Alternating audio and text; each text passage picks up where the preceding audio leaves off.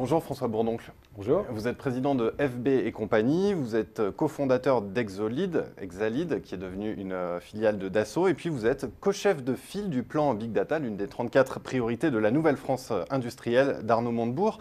Alors, je vous reçois aujourd'hui pour parler des, enjeux du Big Data, euh, comment le tissu économique français euh, fait face à ces enjeux? Alors d'abord, puisque vous avez été nommé par Arnaud Montebourg comme Monsieur Big Data en France, on va dire, est-ce que vous avez le sentiment que les enjeux du Big Data, comme technologie de soutien au tissu économique, mais aussi euh, comme secteur euh, en, tant que tel, est bien compris dans les hautes sphères aujourd'hui alors tout d'abord, je tiens à préciser que je suis qu'un demi-monsieur Big Data français, l'autre moitié étant Paul Hermelin, le président de mm. Capgemini, avec qui j'ai le, le, plaisir et la chance de, de partager cette tâche. Alors, euh, effectivement, le big data est un sujet extrêmement à la mode et beaucoup de gens ont tendance à le réduire à une problématique technologique d'armement. Comment je vais armer mon entreprise avec des technologies big data pour faire face à la concurrence des géants américains? Euh, je pense que penser le problème en termes de technologie est extrêmement réducteur et surtout extrêmement dangereux. Dangereux même dangereux. Parce qu'en fait, c'est l'arbre qui cache la forêt. Euh, le vrai problème aujourd'hui, la raison pour laquelle on parle du big data, c'est que les géants du numérique américain qu'on connaît bien, qui, sont nés à l'issue de la, ce que j'appelle moi la deuxième révolution numérique, à l'issue de la première révolution dans les années 80-90 de l'informatique d'entreprise, il y a eu une deuxième révolution numérique, celle du grand public, qu'on connaît tous, les Facebook, les Amazon, les Google sont nés de cette révolution d'usage grand public, notamment avec le mobile, euh, l'Internet, euh, le web, euh, la publicité. Voilà. Toute cette révolution a donné naissance à des géants du numérique qui ont des milliards de clients, qui ont une particularité, ils sont tous connectés en temps réel avec ces sociétés. Et donc, ces sociétés ont capté au fil du temps un nombre, une quantité d'informations absolument colossale et ont dû développer un arsenal technologique pour traiter en temps réel ces données et proposer des services qui utilisent ces données en temps réel. Pour faire comprendre la différence, quand vous consultez votre compte en banque, vous avez le compte en banque arrêté la veille à minuit. Quand vous regardez Facebook, vous avez en temps réel ce que les gens publient. Il ne viendrait pas l'idée de regarder ce, posté les gens, ce que les gens ont posté sur Facebook la veille à minuit. Bon. Et donc, euh, effectivement, euh, le corpus technologique du big data est extrêmement nouveau et extrêmement essentiel, mais non pas pour venir euh, donner un coup de jeune à des vieux business models, mais pour inventer de nouveaux usages. Donc le vrai sujet du big data, c'est comment j'invente de nouveaux usages connecté, numérique, euh, auprès du grand public, et j'utilise la donnée pour fournir ces services. Alors je voudrais que l'on parle de la maturité des entreprises françaises face à, ces enjeux. Euh, je vais citer euh, une étude du Boston Consulting Group qui l'évalue sur une échelle de 0 à 5 entre 1 et 2 pour la France contre entre 3 et 4 pour les États-Unis. Est-ce qu'on peut refaire notre retard?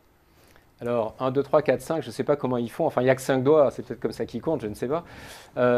Problème méthodologique mis à part. Mis à part. Euh, je pense qu'effectivement, la France est en, retard sur ces sujets euh, d'un point de vue sans doute réflexion pour plusieurs raisons. D'abord parce que euh, ce monde du big data va de pair avec des sociétés, par exemple Uber, Tesla, etc., qui sont des sociétés ultra financées sur un modèle de capitalisme vraiment nouveau, financé non pas par le marché, non pas par les banques, mais dans ce qu'on appelle du private equity, souvent de personnes physiques, et que en France, cette manière de faire du capitalisme est un peu, est un peu exotique. Mmh. Donc déjà, euh, l'hypercroissance de ces sociétés échappe un peu au modèle national. Ensuite, parce que euh, l'économie française est, euh, est fondée sur, depuis la guerre sur un certain nombre de grands groupes, hein, le CAC 40, sur lequel on fonde tous nos espoirs, mais qui sont finalement assez démunis face à cette révolution pour une raison simple, c'est que cette révolution s'organise autour de la naissance de nouveaux usages, euh, dans une logique de monopole naturel, et que donc la société qui invente le nouvel usage va, conduire, va progressivement être conduite à devenir un monopole naturel et à intégrer la chaîne de valeur complète de la production à la commercialisation, à la relation avec le client. Et que donc les grands groupes traditionnels ont beaucoup de mal à imaginer un futur de ces nouveaux usages qui ne soit pas centré autour de leur propre industrie. Et donc, il faut vraiment arriver à penser, je dirais matriciellement, nouveaux usages versus industrie existante. Et c'est une révolution industrielle extrêmement euh, profonde qui, comme vous le voyez, ne repose pas seulement sur de la technologie, mais sur une redéfinition du paysage concurrentiel. Est-ce que pour aborder cette euh, révolution, on peut miser sur la formation? Comment la France se positionne-t-elle euh, en matière de formation sur ces sujets? Alors, autant la France peut être en retard sur un certain nombre de, sur ces formes de capitalisme-là et sur cette évolution, révolution industrielle, mais parfois, vous savez, être en retard, ça peut être un avantage. Regardez sur les télécoms, on était à une époque euh, en retard, on est passé directement aux centrales numériques et finalement, on est devenu les leaders, euh, l'Europe est devenue pendant très longtemps les leaders du, monde mobile, notamment à cause de ça.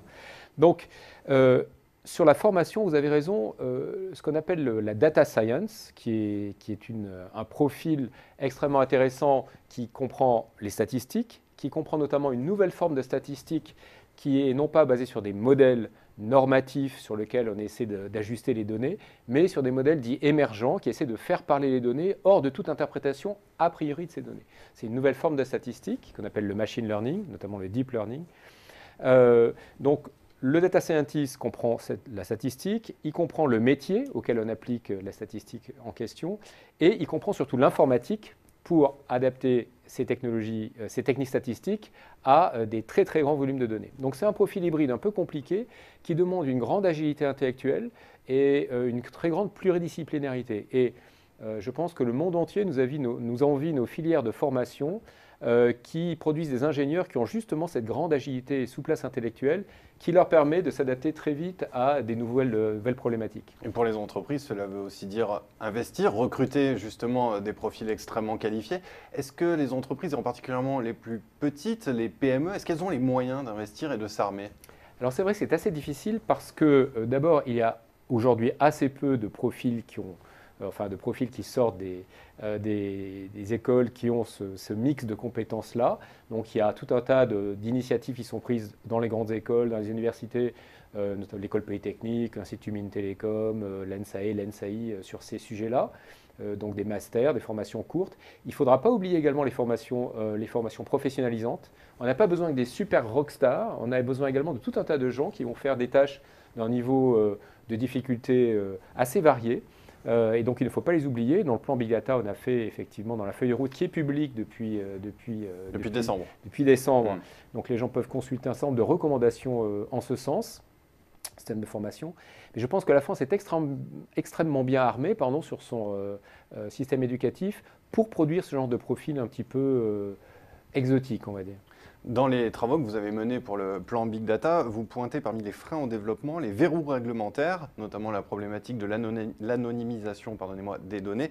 Euh, vous dites que la loi informatique et liberté peut être perçue comme un handicap. La loi informatique et liberté, euh, qui date de 76, si mes souvenirs sont exacts, euh, est une loi qui a été rédigée à l'époque où on avait au même endroit un superordinateur, un mainframe, une collecte de données, une base de données et un usage. Tout ça, c'était une seule et même chose. Aujourd'hui, il peut y avoir une très grande différence entre le moment où on collecte la donnée, le moment où on va l'utiliser, et d'ailleurs, euh, on peut mélanger plusieurs données différentes pour fournir un service donné. Donc ce qui, nous semble extrêmement important, et nous travaillons avec l'ACNIL euh, dans ce sens-là, pour essayer de, réfléchir à comment faire évoluer la loi informatique et liberté. Ce qui est pertinent dans le monde du big data aujourd'hui, ce n'est pas la raison pour laquelle on a collecté la donnée, et donc qui permettrait de savoir ce qu'on a le droit d'en faire, mais bien ce qu'on va faire du service qu'on est en train de, définir. Et en fonction de ce qu'on va faire euh, du service, on va se dire qu'il est légitime ou non de faire certains traitements. Par exemple, si euh, vous voulez assurer la voiture en fonction de la manière dont vous conduisez, sa vitesse, son accélération, le nombre de kilomètres parcourus, etc., il peut être tout à fait légitime de euh, capter votre position, votre accélération. Par contre, est-il légitime de calculer des vitesses moyennes, des vitesses instantanées, maximales, minimales, des lieux de stationnement, le jour, la nuit? Finalement, c'est le fait que vous vouliez assurer une voiture qui va dire si oui ou non toutes ces choses-là sont légitimes ou non. Et donc on essaie de faire une révolution copernicienne sur la loi informatique et liberté pour permettre l'innovation, car sans innovation autour de ces nouveaux usages-là, dans lesquels le big data est essentiel, nous n'aurons pas la compétitivité nécessaire pour faire face à cette déferlante de nouveaux usages grand public qui nous viennent effectivement, comme vous le rappeliez, euh, des États-Unis. Donc certains appellent à statuer sur la donnée, euh, voire même à instaurer un droit d'auteur sur la donnée, mais ce qu'il faudrait, ce serait davantage un droit d'usage. Oui, alors les, juristes, euh, les juristes étudient le sujet attentivement. Est-ce que nous sommes propriétaires des données qui sont générées sur des services que nous utilisons? Après tout, certes, nous sommes à l'origine des données, mais on peut dire que les moyens techniques qui ont capté les données ne sont pas les nôtres, et donc si c'est euh, si de la propriété, en tout cas, elle est partagée. Mm. Il n'y a pas de raison. Mais en revanche, il semble que euh, le, le, schéma qui fasse le plus de sens, ça soit non pas je ne suis pas propriétaire de la donnée, mais je donne le droit à des tiers d'utiliser ou non mes données pour faire telle et telle chose extrêmement précise. On revient là aussi sur la finalité de l'usage et non pas sur la finalité de la collecte qui nous semble être un concept particulièrement important. Pour conclure, François Bourdon, en quelques mots, est-ce qu'on peut se passer d'une approche européenne sur ce sujet du big data? À l'évidence, non. Euh, alors, pour une première euh, raison, c'est que la loi informatique et liberté, comme vous le savez, est en cours de déclinaison sous forme de règlement européen et que donc on ne peut pas faire l'économie de raisonner européen. Mais si nous voulons transformer euh, ce qui est aujourd'hui finalement un, capital de l'Europe, c'est cette sensibilité à la protection de, la, vie privée hein, et de la donnée individuelle, euh, il est important que euh, ce capital ne se transforme pas en handicap, mais puisse être utilisé comme un label qualité sur les solutions big data, entre guillemets, qui vont être commercialisées par les entreprises européennes. Donc, si on veut transformer ce qui peut être un handicap, la loi informatique et liberté, un label qualité, eh bien, il faut forcément le faire au niveau européen. Eh bien, François Bourdon, je vous remercie pour euh, cet éclairage sur le big data et les grands enjeux qui attendent le tissu économique. Merci d'être venu sur Xerficana. Je vous remercie.